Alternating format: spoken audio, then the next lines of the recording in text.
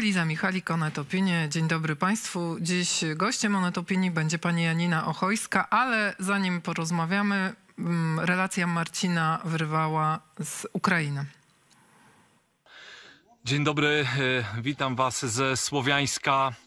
Na całe szczęście nie cały Słowiańsk tak wygląda jak to, co za moimi plecami, a tego jest niestety więcej, bo jeżeli o właśnie w ten sposób się odwrócę, to tutaj mamy w zasadzie całą historię, którą zaraz opowiem i która bardzo niestety, bardzo pasuje do charakterystyki dokładnie tego miejsca, w którym się znajduje. Tam za mną już próbuje się e, przywrócić prąd, ale właśnie e, przedwczoraj e, coś takiego się tu stało. Najpierw może powiemy, dlaczego i jaka jest charakterystyka miasta Słowiańsk. Ja przypomnę, że około 7-10 kilometrów na północ od Słowiańska, na całe szczęście jeszcze za rzeką Doniec, przez którą oczywiście przeprawa jest dosyć skomplikowana, stoją już tam Rosjanie, ostrzeliwują e, miasto, no ale jak ostrzeliwują? Czasami mówimy, skarżymy się, że no po prostu strzelają bez ładu i składu po dzielnicach mieszkaniowych. W to miejsce trafili bardzo precyzyjnie. E, chodzi o to, że niestety Słowiańsk, w ogóle Donbas, wschód to jest takie miejsce, gdzie co najmniej 30%, chociaż według moich obliczeń może to być jeszcze więcej, ludzi to są osoby albo sowieckie, czyli takie, którym nie zależy, czy oni są pod Rosjanami, czy pod Ukraińcami, albo wprost e, prorosyjskie. E, tutaj w tych dwóch domach obok, no niestety troszeczkę będzie, będą nam tu przeszkadzać, ale będę próbował głośno mówić, a w ogóle przełączyć teraz na drugą kamerę i troszeczkę pokażę efekt tego potężnego uderzenia, które tutaj zaszło. E, o właśnie, przejdę się tutaj trochę. Proszę zobaczyć, jak potężne tutaj uderzenie było, że jeden dom praktycznie przestał istnieć. To z tyłu to jest budynek e, za nim, a drugi obok dom, no on też już się zupełnie do niczego e, nie nadaje. To co wiemy tak na pierwszy rzut oka to to, że nie tylko dorośli tutaj żyli, ale no właśnie, ale też małe dzieci, tutaj jakiś dziecięcy rowerek, a tutaj jakiś pajacyk. No i właśnie, problem jest w tym, że dużo z tych prorosyjskich ludzi e, i tak było tutaj. E, w tych dwóch domach żyły dwie osoby, dwóch e, ukraińskich aktywistów. Ludzie, którzy pomagali armii, pomagali temu miastu, temu ukraińskiemu miastu. Natomiast cóż, e, wiemy, że przyszedł tutaj któryś z sąsiadów, zrobił zdjęcie i niedługo potem właśnie uderzyła tutaj, e, uderzył jakiś pocisk. Nie wiemy dokładnie jaki to pocisk, ale możemy zobaczyć, jak wielkie zniszczenia e, poczynił. E, e, przełączam się z powrotem już na tą kamerę na mnie. A więc cóż, obrona słowiańska, która no niestety nieuchronnie się zbliża, będzie właśnie o tyle skomplikowana, że część ludzi, którzy są po stronie rosyjskiej, niestety już jest w tym mieście. To są czasami zwykli ludzie, którzy po prostu przesyłają e, koordynaty. No, e, to tyle na dziś. Będziemy śledzić sytuację z Donbasu. Bardzo dziękuję. Relacja była wcześniej nagrana, ale dzięki Marcin wyrwał jak zwykle i Janina Ochojska jest dziś z Państwem i ze mną. Dzień dobry, witam, witam serdecznie. Podobno wróciła Pani niedawno um, z granicy z Białorusią i chciałabym usłyszeć, co się tam dzieje od Pani. Co Pani widziała? E, co widziałam? No, przede wszystkim spotkałam się z, mieszkańcami tego rejonu, z mieszkańcami tak zwanej strefy. Muszę powiedzieć, że ciężko było słuchać historii, jak ludzie tam żyją. Nam wydaje się, że tam się nic nie dzieje, że po prostu ludzie sobie mieszkają. Są jacyś uchodźcy, którzy próbują przejść. E, jednym się udaje, jednym nie. E, są, są z powrotem wywożeni do lasu, ale bardzo mało wiemy o życiu mieszkańców. E, którzy żyją w strefie, gdzie jest bardzo dużo policji, wojska, straży granicznej, którzy są wszędzie. E, w sklepach, koło szkoły. Zniszczone jest e, właściwie Białowieża jest jednym takim miejscem, gdzie, gdzie stacjonują wszyscy. Zniszczone są boiska, zniszczone są parkingi, e, zniszczone są również miejsca, gdzie, gdzie żołnierze żyją.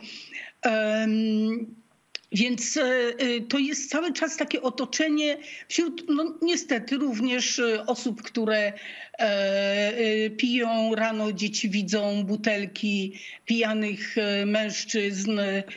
Teraz jest ciepło, więc się rozbierają, opalają, odpoczywają. Wszystko to dzieje się w centrum. E, w sklepach czy w restauracjach zmieniły się menu restauracji, które jest dostosowane teraz do, do wojska. W sklepach coraz częściej są produkty takie, które najczęściej wojsko kupuje, a więc e, na przykład dużo piwa, dużo alkoholu. E, poza tym no, jeden z, z, jedna z osób, która była na tym spotkaniu, e, miała ślub e, i musiała tłumaczyć się, e, kogo zaprasza na swoje wesele bo oczywiście musiała mieć zgodę na wjazd tych ludzi. Opowiadała mi jedna pani, jak jej brat miał przyjechać, którego nie widziała już bardzo długo więc też musiała chodzić na policję, prosić o zezwolenie, e, musiała się tłumaczyć, skąd on jest, dlaczego on do niej przyjeżdża, czy to na pewno jest brat. No i to tak się dzieje w życiu codziennym. E, no już nie mówiąc o tym, że ludzie zostali pozbawieni zarobku, bo nikt do nich nie przyjeżdża, bo nie może. E, właściwie już wiadomo, że ten stan wyjątkowy tak, będzie przedłużony. E, czyli e, nadal latem ludzie nie będą mogli przyjeżdżać e, do, do Białowieży czy do okolic, gdzie zazwyczaj przyjeżdżali. Nie ma żadnych rezerwacji, bo ludzie boją się też przyjazdu w miejsce, gdzie, jak to opowiadają media rządowe jest bardzo niebezpiecznie z powodu tych uchodźców, którzy, e, którzy tam e, próbują się dostać. Więc jest to wszystko bardzo przygnębiające. Ten region niszczeje. E, buduje się mur kosztem obszaru zalesionego wcześniej. Ja widziałam ten mur. To robi przerażające wrażenie. On jest e, bardzo długi. Oczywiście nie widziałam całego, ale to, co widziałam, e, to już e, po prostu, wie pani, to tak naprawdę budzi grozę. Bo wydaje się, że to jest taki mur nie do przejścia. Mówię wydaje się, dlatego że już podobno są podkopy pod tym murem, już zostały wycięte jakieś dziury.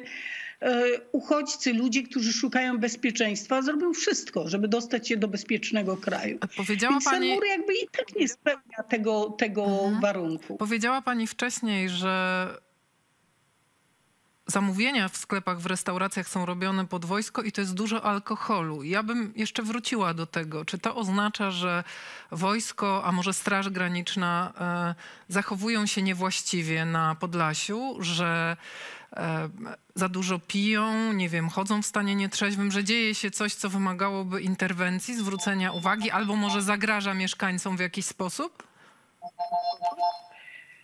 E, nie, o takich historiach nie słyszałam, o jakichś zagrożeniach. E, no niemniej e, rozsypane butelki, które wysypują się z koszy na śmieci, czy no, to jest nieuchronne, że, że, że, jest, że są osoby nietrzeźwe. E, ja muszę też powiedzieć, że e, rozumiem, wprawdzie z nikim z wojska się nie spotkałam, ale e, ja rozumiem, że również dla tych ludzi życie takie prowizoryczne, z dala od swoich rodzin, też jest dla nich stresujące. I ten alkohol pewnie jakoś im pomaga, tak? no, ale na pewno nie pomaga to mieszkańcom bo tak jak mówię, nikt nie opowiadał o jakichś zagrożeniach. No ale jeżeli w bloku obok mieszka ktoś, kto stale pije, no to też nie chcemy, żeby dzieci to oglądały. Tak? Tymczasem wojsko jest, wojsko, służby w ogóle są wszechobecne i nie sposób się z nimi nie stykać, no bo są w samym centrum miasteczka. No to takie trochę odnoszę wrażenie, jak pani mówi, jakby, jakby służbom było wolno więcej, a tak nie powinno być. Ale może się mylę, może to tylko wrażenie. Myślę, że to o tym musieliby powiedzieć mieszkańcy, ale e, wiemy, że wie pani, ja z praktyki też wiem, mając e, kontakt z różnymi wojskami, e, że wojskowym czy, czy w ogóle mundurowym wolno więcej, tak? Wolno na przykład im zatrzymać każdego. Nie podają swojego nazwiska, nie mają naszywek z nazwiskiem, nie mają naszywek z numerem, e, więc właściwie nie wiadomo, kto zatrzymuje. Każdy może taki mundur sobie skombinować. Ale mają obowiązek, się, legi- mają obowiązek się legitymować, jak zatrzymują ludzi. No więc no więc właśnie dlatego e, mówię, że mogą więcej, tak? Bo mogą nie mieć naszywek, mogą mieć zakrytą twarz, E, i e, absolutnie nie chcą się legitymować.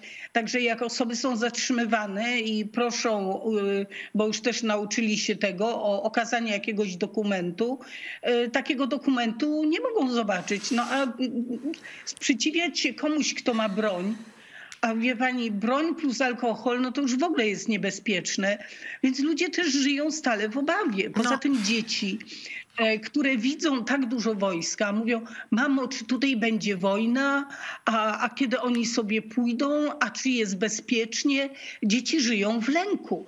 Dlatego też dopytywałam o ten alkohol, bo, bo tak myślę, że alkohol plus broń to jest zła mieszanka, ale też jeszcze bym wróciła do całego regionu, bo z tego, co pani mówi, to wyłania się obraz e, upadku regionu, no i co nieuchronnie za tym idzie upadku ludzi, którzy tam mieszkają, no bo przecież, jak pani zauważyła, ten region Podlasie żył z turystyki. Białowieże świetnie znam, jeździłam tam, to od, był, był region odwiedzany i miasto przez wielu turystów.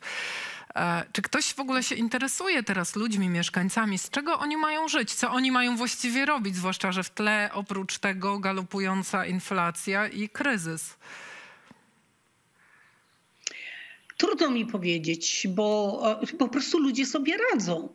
E, nie mają jakiejś e, pomocy. Wcześniej E, były e, takie wypłaty dla osób, e, które prowadziły jakieś biznesy, zwłaszcza turystyczne, ale one i tak nie pokrywały tego, co mogliby normalnie zarobić, zwłaszcza w sezonie. A tam sezon trwa również zimą, ponieważ tak. zimą jest tam przepięknie, jest spokój i tam jest prawdziwa zima jeszcze, bo tutaj ja mieszkam pod Toruniem, to w tym roku nie mieliśmy właściwie zimy. Więc, e, ale te, ten region niszczeje i tak jak pani mówi, no też e, ludzie, e, niektórzy pojechali tam, tam mieszka bardzo dużo inteligencji, ludzi z dużych miast, którzy zdecydowali się przeprowadzić, chcąc żyć w naturze. Pracują tam również różne osoby, które są specjalistami od zwierząt, od lasu, od ochrony lasu. E, I y, ja usłyszałam od kilku osób, które mówiły, że jak to tak dalej potrwa, to się chyba wyprowadzą. Bo e, jeżeli stan wyjątkowy zostanie jeszcze przedłużony. A wygląda, że no to potrwa. Akurat na czas Wygląda, że potrwa. No, nas zatrzymał policjant na drodze i po, powiedział nam, że tak na, na koniec, tak, że no, prawdopodobnie stan będzie jeszcze przedłużony. Bo pytaliśmy, kiedy będzie można wjechać, e, dlaczego tak jest. No to pan był bardzo miły, pan policjant, no ale właśnie e, powiedział, że to, ten stan wyjątkowy będzie przedłużony. Nikt też nie informuje mieszkańców, to jest domysł, tak? Ale y, wie pani, nikt nie informuje, że będzie tak czy inaczej, że będą takie ograniczenia. E, ludzie, ci, którzy mają nadzieję, że y, Białowieża otworzy się już na, y, pod koniec czerwca, nie spodziewają się być może tego, chociaż pewnie przyczuwają, no bo e, widząc, że e, budowa muru trwa, a ja uważam, że ten stan jest utrzymywany i tak zresztą też używa, uważają mieszkańcy. Jest utrzymywany po to, żeby a zbudować mur, żeby tego nikt nie widział, jakie są zniszczenia e, puszczy, ale również, e, żeby ukryć to, co dzieje się na tym pograniczu.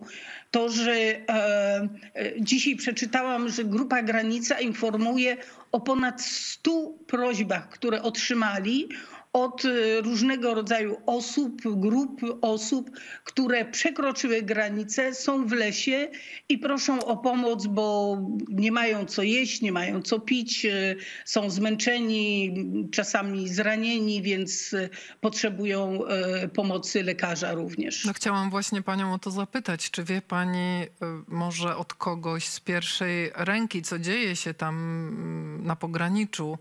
E, co dzieje się z ludźmi, którzy usiłują przejść granicę, jak zachowuje się Straż Graniczna, jak to tak naprawdę wygląda, bo o tym też e, ze względu na wojnę rosyjsko-ukraińską się już praktycznie nie mówi. No tak, wydawałoby się, że tak jak się informacyjnie, prawda, e, że tam już jest spokój, że, że, że już nic się nie dzieje. E, tak, wiem z pierwszej ręki. Oczywiście nie mogę powiedzieć, kto mi to opowiadał. Od osób, które chodzą do lasu, które pomagają uchodźcom e, o tym, że są i dzieci, i kobiety, są oczywiście również mężczyźni, e, że są grupy większe, mniejsze. Pojawili się również uchodźcy z krajów afrykańskich, E, z Kongo, z Burkina Faso. E, często to są kobiety, które były wielokrotnie gwałcone e, przez, przez takie grupy wojskowe w Burkina Faso czy w Kongo. E, i e, uciekają, próbując znaleźć dla siebie e, na jakieś miejsce, gdzie mogliby być bezpieczni. Najczęściej oczywiście chcą dotrzeć do Niemiec, ponieważ już niestety sława Polski w cudzysłowie rozeszła się, że nie jest to przyjemne miejsce Polska dla osób o innym kolorze skóry, o wyznających inną religię więc e, no, ludzie po prostu chcą przekroczyć e, granicę, przejść przez Polskę i dotrzeć do Niemiec. No i w mojej opinii tak wielu osobom to się udało, bo ponad 10 tysięcy osób dotarło do Niemiec przez tę granicę.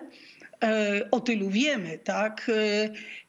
co oznacza, że pomimo tych wszystkich środków, które zastosowano, e, ta granica jest przenikana przez osoby, które przechodzą bez kontroli. Bo na czym polega bezpieczeństwo granicy? Nie na budowaniu muru. Chodzi o to, żeby wiadomo było, kto granicę przekracza. To nie oznacza, że nie można jej przekroczyć i że nie można prosić o ochronę międzynarodową Ochrona granicy to znaczy wiemy, kto przez nią przechodzi. I jeżeli uważamy, że taka osoba nie powinna przejść, nie powinna znaleźć się w Polsce, to taka osoba znajduje się wtedy w ośrodku zamkniętym, prowadzi się, odpowiednie służby prowadzą dochodzenie i taka osoba jest deportowana. Więc e, to nie chodzi o to, żeby nikt tej granicy nie przekraczał. I to jest bolesne że e, wiemy, że na tej granicy jest bezprawie, jest łamane bezustannie prawo, prawa człowieka i wszystkie, wszystkie wysiłki e, mieszkańców, aktywistów jakby nie, nie mogą zapewnić zachowywania prawa, a właściwie tego się domagamy od służb czyli od, od służb granicznych, od policji, od wojska. Przecież po to tam są. Przygotowując się do programu, wiedząc, że pani będzie gościem, oczywiście zrobiłam prasówkę i przeczytałam między innymi w, do rzeczy, że pani porównuje działania Straży Granicznej do nazistów. I widzę, że w ogóle prawicowe media się bardzo często rozpisują o tym, że pani atakuje Straż Graniczną. Czy tak jest? Bo przyznam, że nie słyszałam takiej e, pani wypowiedzi. E, no, nigdy tego nie powiedziałam, ale rzeczywiście napisałam kiedyś, już z półtora miesiąca temu, e, o tym, że te praktyki, wywózki, łapanki w lesie przypominają mi praktykę z czasów nazistowskich czy, czy bolszewickich. Bo, bo tak jest to mi te łapanki, tak, e, wywożenie e, ciężarówkami ludzi do lasu, e, przerzucanie ich przez granicę, no O czym to, to świadczy, co to przypomina? To nie znaczy, że ci ludzie y, są nazistami czy, czy bolszewikami. Ja nie znam tych ludzi, tak?